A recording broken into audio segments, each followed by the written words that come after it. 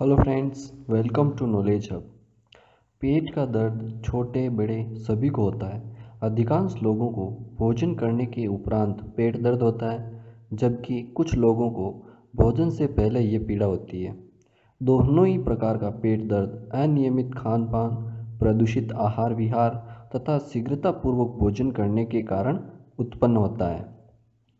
इसका इलाज, एक चम्मच अजवाइन, एक चुटकी हींग और दो चुटकी काला नमक सबको मिलाकर फेंकी मारें। ऊपर से गर्म पानी पी लें। नंबर दो, सूखा पुदीना पानी में घोल कर उसमें ज़रा सी शक्कर और एक चुटकी नमक मिलाकर सेवन करें। नंबर तीन, थोड़े से जीरे को सूखे तवे पर भून लें, फिर उसे पीसकर उसमें थोड़ा शहद मिलाकर सेवन करें। नंबर चार एक चम्मच तुलसी का रस और एक चम्मच अदरक का रस गर्म करके पीने से पेट के दर्द में काफ़ी लाभ होता है। नंबर पाँच, आधा चम्मच लहसुन का रस लेकर उसमें एक चुटकी काला नमक मिला लें।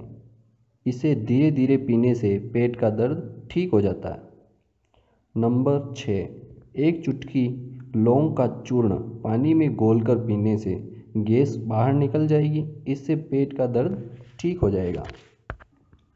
Okay friends thanks for watching this video